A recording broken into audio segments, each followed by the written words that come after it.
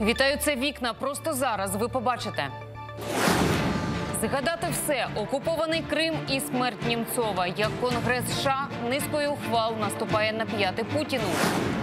Травматичний виклик на Дніпропетровщині. П'яний пацієнт відгамселив лікаря до поламаних пальців та струсу мозку. Драма і протистояння кріпосної. Найпронизливіша сцена, взагалі, яку я спокійно дивитися досі не можу. Який він у житті один із головних героїв стрічки шляхетний дворянин Льоша Косач Олексій Яровенко. У ці хвилини у Верховній Раді засідає тимчасова слідча комісія, яка розслідує корупційний скандал в оборонці. Сьогодні на засідання прийшли всі і генпрокурор, і антикорупційні очільники. Там працює наша кореспондентка Євгенія Мотрич. Вона з нами наживо. Женю, вітаю. То як відбувається засідання і чи є буде якісь результати розслідування?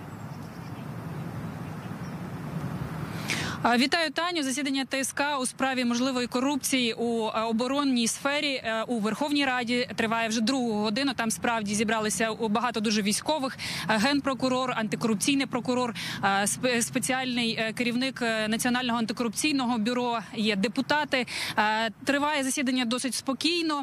Якщо коротко про те, що було сказано, то озвучено, то зокрема генпрокурор Юрій, Юрій Луценко нагадав, що це лише одна з поміж сотень кримінальних справ з 2016 року, які так чи інакше стосуються концерну Укроборонпром. Е, Що за нею вже відшкодовано збитки в держбюджет, і що мовляв усі можливості та напівлегальні схеми постачання запчас- запчастин для для військової техніки в Україну з Росії через цей скандал нині припинило ФСБ.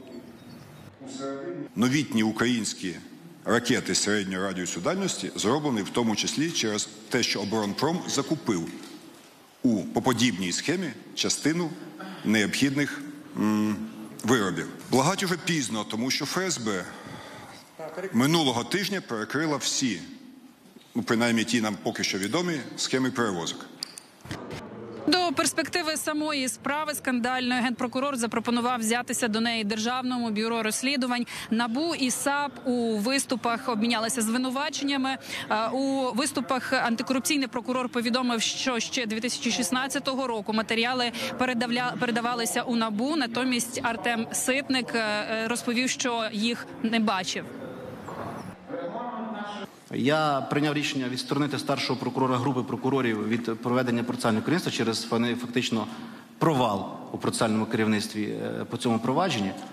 І я би хотів власне почути, де матеріали від 1 березня 2017 року з повним текстом, яка була їхня реалізація. Ми не е, проти розслідувати, але зараз це розслідування воно починається в нас фактично з нуля. Пропозиція все ж таки е, дати нам ті матеріали, які ви озвучили, що вони виходять до нашої компетенції, до розгляду е, набу. І ми з задоволенням разом з вами, якщо ви будете вважати за потрібне, в цьому напрямку будемо співпрацювати. Дякую.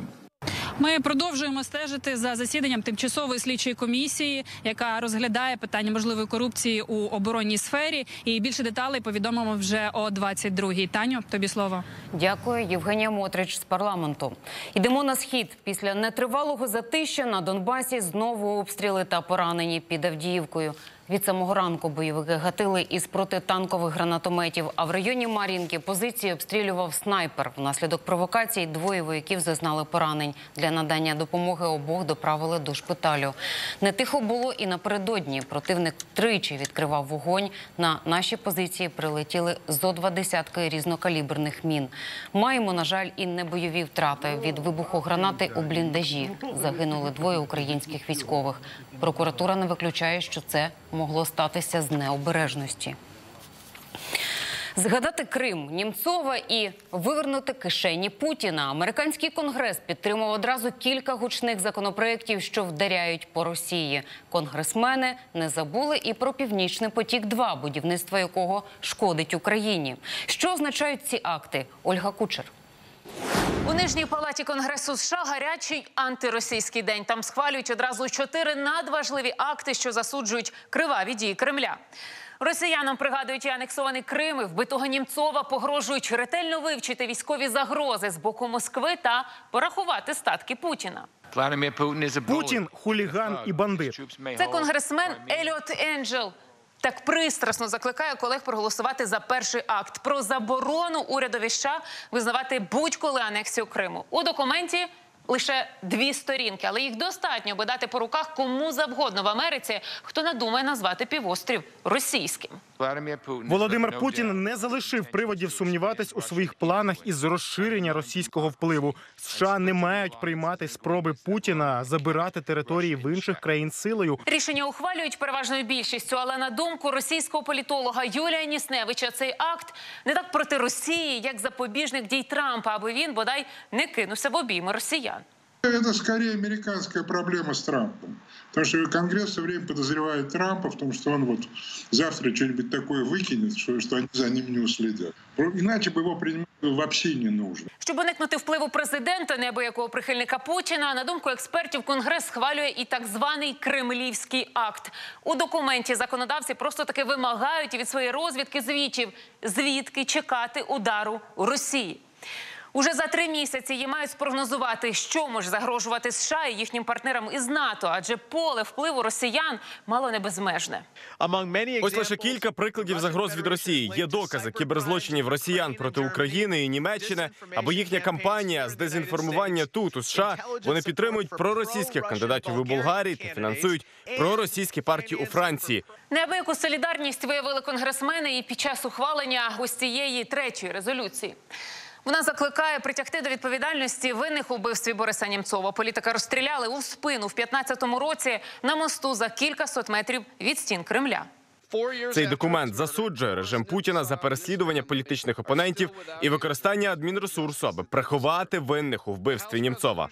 Адже якщо п'ятьох убивць опозиціонера посадили, то організатори та замовники злочину досі на волі. Звичайно, американці їх не кинуть в американські тюрми. Це справа росіян.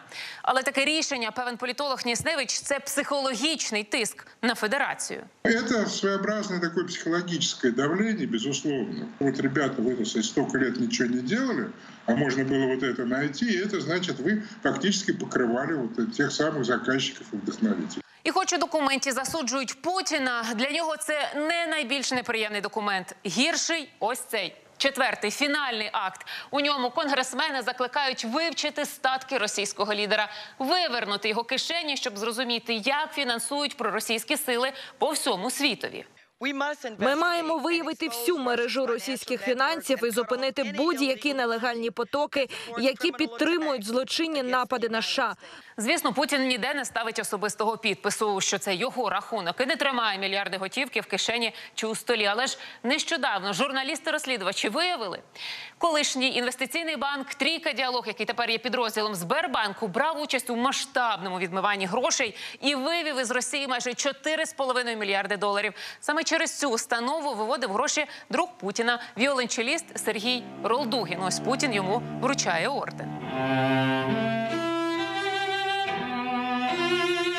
Остаточно зіпсував настрій росіянам сьогодні і держсекретар Майк Помпео. Він нагадав про підготовку нового пакета санкцій щодо улюбленого дітища Росії Північного потоку. 2 цього разу перепаде європейському бізнесові, що допомагає тягти трубу в обхід України. Помпео відверто називає блакитне паливо зброєю росіян.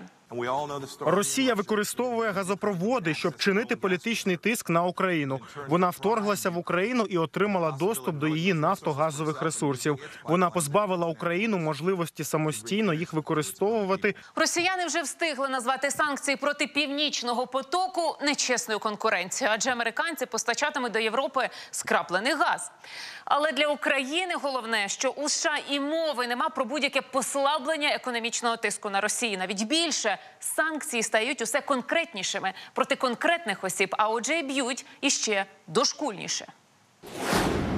Британський глухий кут. Велика Британія залишилася без будь-якої угоди про вихід із ЄС. А до офіційного припинення членства в Євросоюзі 16 днів. Парламент країни відкинув угоду, яку два дні тому уклала Тереза Мей з головою Єврокомісії Жаном Клодом Юнкером.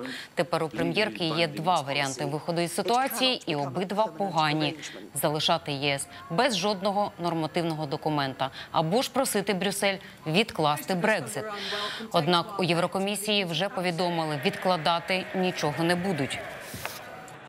Дозвольте мені вам пояснити, цим голосуванням, яким ви відхилили угоду, ви не владнали проблему. Нам усе одно доведеться виходити із Євросоюзу. І ЄС хоче знати, як ми збираємось це робити, на яких засадах. І ця палата повинна відповісти на це питання.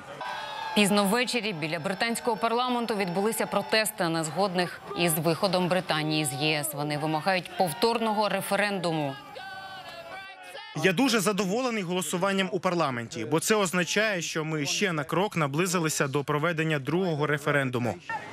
За вихід Британії з ЄС проголосували мешканці країни на референдумі три роки тому. Але як виявилося, британці і не уявляли, наскільки складно розірвати економічні та правові зв'язки з країнами Євросоюзу. Наприклад, між Північною Ірландією, яка входить до складу Великої Британії, та Республікою Ірландією вже 20 років немає кордону. З виходом Британії він з'явиться, як і додаткове оподаткування. Немає щеплення, немає навчання у школі. В Італії ухвалили новий закон, за яким невакциновані діти не зможуть відвідувати уроки. Навіть більше батьків, які відмовилися від планових щеплень, будуть штрафувати. За спробу приховати відсутність вакцинування у дітей доведеться викласти 500 євро. Не братимуть таких малюків і в садки. Тепер у батьків є три місяці. Ми передамо компетентним органам списки учнів і тих із них, кому мали зробити планові щеплення. Там перевірять, хто їх отримав. Після цього ми зв'яжемося з тими родинами, діти яких, наприклад, не вакциновані, і попросимо їх врегулювати це. В Італії досі щеплення дитини було на совісті батьків. Багато сімей відмовляються їх робити, остерігаючись шкоди. У колишнього мера Резани Лориса Мазурато двоє дітей, і він не збирається робити їм щеплення. Семирічна донька ходить до школи, а дворічна сидить удома, бо на садочок грошей родина не має. Тепер, попри фінансову скруту, екс-мерові доведеться оплачувати навчання двох дітей із власної кишені. Це несправедливо. Держава повинна гарантувати цю послугу усім. Однак, якщо мене штрафуватимуть, мені доведеться оплачувати домашню освіту або шукати приватну школу. Але все одно я не робитиму щеплення своїм дівчатам. А ось у міністерствах освіти та охорони здоров'я Італії заявляють, новий закон не унікальний. Такі вже діють у кількох державах світу. До того ж, загроза епідемії хвороб, про які європейці давно забули, змушує уряд піти на такий рішучий крок. Шість років тюрми за педофілію. Третю людину Ватикану відправили до в'язниці кардинала та скарбника святого престолу Джона Пела. Австралійський суд визнав винним у сексуальному насиллі над двома 13-річними хористами. Злочин стався ще у 1996 році, коли Пел був архієпископом Мельбурна. Австралійці, які спостерігали за процесом, називають вирок надто м'яким. Я очікував, що Пелла засудять до восьми або дев'яти років. Шість років, як на мене, надто мало. Ви розумієте, тут йдеться про покарання за насилля, а не про реабілітацію педофіла. Злочин треба спокутувати. Максимальний термін, на який могли посадити кардинала 50 років. Однак узяли до уваги те, що йому вже 77. Суддя Мельбурна Пітер Кіт вирішив, що 6 років за ґратами буде досить. Щоправда, Кіт зазначив, що під час процесу священник так і не розкаявся, ба більше виявляв пиху. Ви вважаєте себе невинним у цьому злочині, і це ваше право. Але як наслідок немає жодних ознак того, що ви розкаялися у скоєному. Мабуть, ви думали, що можете контролювати ситуацію і суд, вважаючи свій архієпископський сан авторитетним у суспільстві. Але така поведінка була надзвичайно самовпевненою. І з огляду на ту кривду, якою на думку журі ви завдали, поводитися так і з вашого боку було надзвичайно зарозуміло. Адвокат кардинала заявив, що подасть апеляцію. На момент суду папа Франциск вже відсторонив архієпископа від служіння, але Ватикан може взагалі позбавити Джона Пела сану. Так як це сталося 17 лютого з колишнім архієпископом Вашингтона Теодором Макериком, якого церковний суд визнав винним у сексуальних домаганнях до підлітків. Струс мозку, зламаний ніс і пальці. Так закінчився нічний виклик для невропатолога на Дніпропетровщині. Лікарові довелося терміново приїхати на роботу, бо п'яний пацієнт, якого швидка підібрала на вулиці, скаржився на параліч нижніх кінцівок. Спроби з'ясувати, що з ним трапилося, виявилися невдалими. Агресивний чоловік накинувся на медика і відгамселив його. Виклик проти ночі понеділка невропатолог Євген не забуде ніколи. Близько другої години йому зателефонували з роботи і попросили терміново приїхати. Швидка доправила пацієнта, який скаржився, що відмовляють ноги. Лікар пригадує, чоловік був добряче на підпитку, повзав підлогою у приймальному відділенні. На запитання не реагував. Коли я його погукав, спитав, як його звуть, разів 5-6, він на мене не реагував, хоча був у свідомості. Ну, воно було видно, що він ігнорує мене. Він руками зачепився за там лавка, яка стояла під таксофоном старим непрацюючим. Е, Сів е, за допомогою своїх рук е, на цю лавку. Мобільного пацієнт не мав. Євген розповідає, чоловік раптом схопився та узявся телефонувати комусь із неробочого таксофону у коридорі. Голосно кричав, коли ж лікар спробував забрати слухавку. Чоловік ногою вдарив невропатолога в обличчя. Що було далі, Євген пам'ятає погано. Пригадує лише, що стусани сипалися один за одним. Потім ще були якісь удари, але я скільки не пам'ятаю, чи три, чи чотири, бо я там десь чи три там секунди, чи п'ять, я не знаю, скільки там секунд десь короткочасно втратив свідомість. Довелося гукати охорону. Хулігана скрутили та викликали поліцію. А Євгена вже рятували колеги. У чоловіка виявили струс мозку, зламані пальці на руці і забиття грудної клітки. Працівники лікарні приголомшені, хоча й кажуть, що у приймальних відділеннях такі випадки не поодинокі. Це лякає медиків. Вони відмовляються чергувати вночі. Медперсонал в основном у нас э, ну, женск, э, ну, женщины. Конечно, ну, очень страшно. Процентів 99 агресії, 99,9 агресія до медперсоналу, до медсестер, до молодших медсестер, до лікарів. У приймальному відді... ну, зазвичай це приймальне відділення та травмпункт. Це дуже регулярно. У поліції кажуть, нападника тієї ночі допитали та відпустили. Йому 30 років, і він не має постійного місця проживання. За фактом хуліганських дій у відношенні лікаря відкрито кримінальне провадження за статтею 296 Кримінального кодексу України, тобто хуліганство. На даний час особа зловмисника встановлена. Євген же наступні декілька тижнів проведе на лікарняному ліжку. Щойно рани загоїться, обіцяє стати до роботи. І вже всім колективом вони вимагатимуть посилити охорону медичних закладів, особливо уночі. Юлія Брик, Ярослав Шийко, програма Вікна СТБ. Вони не здатні розгледіти передвиборної агітації на білбордах чи бодай прочитати прізвище кандидата в бюлетені, але теж робитимуть свій вибір. Мова про незрячих українців, таких щонайменше 50 тисяч, хоча статистики держава не веде. Це люди, права яких на цьогорічних президентських виборах точно будуть порушені, адже зберегти таємницю голосування вони не зможуть. Напередодні обрання президента громадянська мережа Опора та медіагрупа Starlight Media створили спільну ініціативу Чесні та вільні вибори з просвітницькою метою. На що все таки мають право українці з вадами зору під час голосування? Ірина Заславець.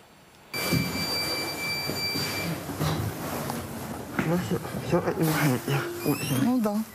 З одного боку, спираючись на палицю, з іншого на сина, Ніна Олександрівна виходить на двір. 77-річна жінка з дитинства геть незряча. Її очі це він. І хоча Женя сам бачить відсотків на 5, роль поводиря виконує бездоганно. Голая земля. Ну Земля да. еще голая. Почек ще нет. Нет.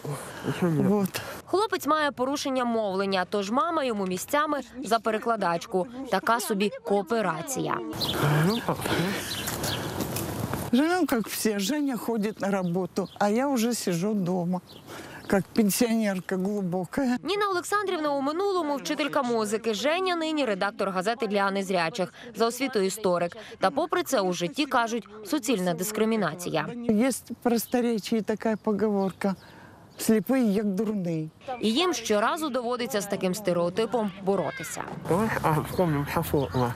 А что Софокла? У Софокла давай огнем герой.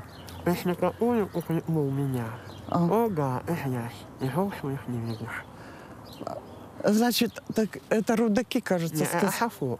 Нині мама з сином ідуть до виборчої дільниці. Хоча до голосування ще далеко, вирішили вивчити дорогу, щоб бути у всеозброєнні. Вони свідомі громадяни. Совсем недавно предложили урну. Я сказала, не надо, я еще сама могу пройтись. Мне самой интересно. Жодних виборів ця родина не пропускає. Завжди віддають свої голоси за одного кандидата. Женя голосує за себе і за маму, адже вона бюлетеня прочитати не може. у кабінку заходять удвох. Для незрячих людей закон це передбачає. Кому же я могу м, доверить свою подпись? Конечно, родному сыну, не кому-то.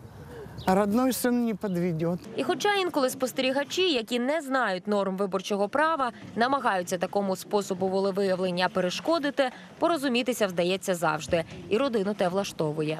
А його ні.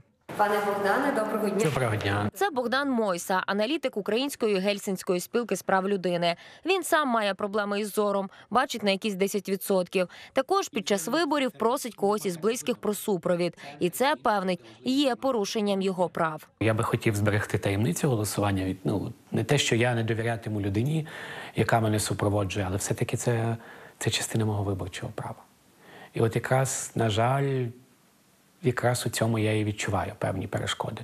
Виходом могли би стати трафарети шрифтом Брайля, які незрячі накладали би на бюлетені, але востаннє такі виготовляли 20 років тому. Нині під час голосування за президента їх навіть не передбачає закон, і це певнить Богдан Мойса дискримінація незрячих виборців. Це ваші виборці, і їхні права мають бути забезпечені. Дасте їм можливість проголосувати. Хто знає, можливо, якраз ці виборці віддадуть голос за вас. Навіть кількість незрячих виборців відкрите питання. Ми звернулися до Міністерства соціальної політики з проханням надати нам дані щодо українців із порушеннями зору. Там повідомили, відповідної статистики не мають. Від ЦВК теж жодної інформації про таких виборців. Єдина цифра це та, якою оперує Українське товариство сліпих 50 тисяч людей, тобто 50 тисяч тих, чиї права на цих виборах точно будуть порушені. Вот это наш участок здесь. А ось дільниця, де голосуватимуть Женя з Ніною Олександрівною у приміщенні колишнього ЖЕКу. Тут високі східці, на які жінці не видертися пандуса для людей з інвалідністю, який передбачають норми. Немає на щастя, вони побачили, є принаймні чорний вхід. Ним і підуть. Щоправда, за кого голосуватимуть, наразі не вирішили. Верь не словам, но А делам? делам. А вот мы, Слова это одно. мы смотрим на о, чем чоловік себе проявив. Ірина Заславець, Андрій Скорик, програма Вікна СТБ. Лицар без страху і докору, музикант, блюзмен, футболіст і просто красунчик. Усе це про білоруського актора Олексія Яровенка. У костюмованій драмі Кріпосна він грає роль коханого головної героїні серіалу збіднілого і шляхетного дворянина Льошу Косача. Розповідь про Яровенка з циклу про залаштунки головної телепрем'єри сезону ми спеціально готували саме на сьогодні, бо у сьогоднішніх серіях кріпосної його роль ще драматичніша. Поліна Спасенко трохи відхилить завісу та познайомить зі справжнім, а не серіальним Олексієм.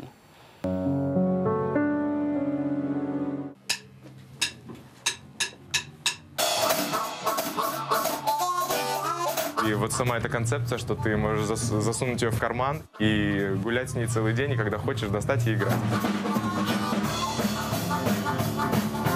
Коли він не грає в кіно, то грає блюз. І робить це білоруський актор у Києві. Чому тут, а не в рідному мінську? Про це трішки згодом. А просто зараз ми застали Олексія Ярвенка за підготовкою до чергового київського концерту. Ну, моя любовь к блюзу, она имеет уже такую историю продолжительную. Лет с 15-16. В каких-то таких достаточно простых словах можно рассказать какие-то такие понятные и глубокие всем м, переживания и чувства. М, Это отражает мое внутреннее состояние. Сам пише музику, сам складає тексти і співає теж сам. Але нічого цього могло і не бути, бо з дитинства все, про що мріяв Яровенко, це кар'єра футболіста. Чтобы быть таким, как э, Зидан, чтобы быть таким, как Дель Пьеро, я занимался э, в футбольной школе э, футбольного клуба Минск. Вот. Ну, к сожалению, не прошел в основной состав. Зате нині має у Києві власний гурт із нехитрою назвою Олексій Яровенко Бенд. Тож хто він більше музикант чи все таки актор? Вот в этом случае надо уже говорить о расщеплении личности. То есть э, я считаю, что э, это все часть меня. Я м, не могу выделить Знімання у кріпосній найтриваліше у його акторській кар'єрі. Олексій там грає Олексія, збіднілого, але надзвичайно шляхетного панича. Так это ж наш Алексей Федорович. Льоша Яровенка. Він дуже схожий на Олексія Косача нашого. Перевтілюватись йому не треба було. От він і справді така дуже позитивна, гарна, класна людина. І красень додає та, який випало зіграти його матінку Ольга Сумська. Матушка. Е, Всі е, дівчата мліють, і навіть на майданчику, коли він вперше з'явився, всі так. «О, Вау, Боже, які очі. Він навіть не накладав тон. Він був от е, він такий молодий, такий прекрасний. Він не робив грим. От такий, який він є. Красень, лицар без докору і страху, а ще ідеальний у парі із Катериною Ковальчук. Кастинг на роль Олексія Косача був рекордно коротким. Льоша перший е, і єдиний Олексій. Він зайшов в кадр, він почав е, працювати з Катєю, і ми зрозуміли, що це він. Не шукали. Перша зустріч головних героїв це перше знімання кріпосної. Найскладніше за всі подальші 13 місяців не лише для Яровенка, а й для всієї знімальної групи. Сложная была сцена, и все 12 часов лил искусственный дождь. Ну и артисты. Они были в мелких гидрокостюмах, но тем не менее они постоянно были под дождем. Вода была холодная, ночи уже были холодные, и ты прям уже весь дрожишь, и тебе приходится собраться и что-то делать. Это история искренней чистой любви. Щирого кохання, яке обом завдає чимало страждань, і головно через згубну пристрасть, підступність та каверзи головного антигероя. Я избавлю вас от терзания.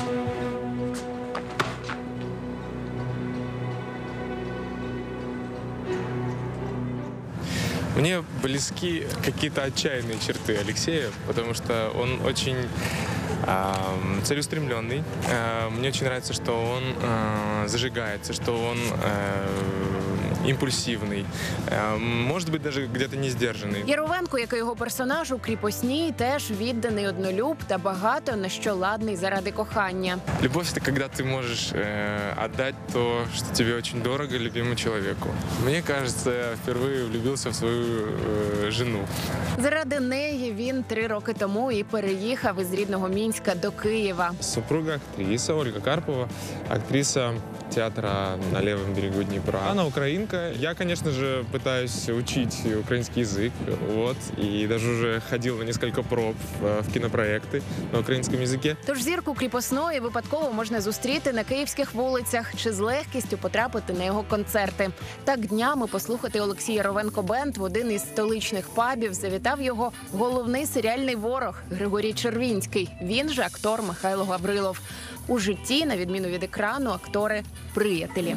Однако есть вещи, которые выше выгоды. И даже ценнее любви. Честь. Я честью не торгую. Знаєте, це така гаряча голова з м, іноді не дуже правильними м, жорсткими принципами. До чого ж призведе ця його принциповість? У нас, звісно, не гра престолів. Наскільки тяжкого поранення завдасть Косачу Червінський? Дізнаєтесь вже у сьогоднішніх серіях кріпосної. Ніхто не очікував, що так повернеться. Найпронизливіша сцена, взагалі, яку я спокійно дивитися досі не можу, хоча її бачила так, щоб не збрехати разів, напевно, 35 точно. А у вікнах о 22-й ми розповімо, що про сьогоднішні перипетії кріпосної думають самі актори і творці серіалу. Поліна Спасенко, Денис Ярошенко, Роман Крюков, Олександр Аліфанов та Ярослав Старошенко. Програма Вікна СТБ. Гарного вечора з СТБ і до зустрічі о 22-й.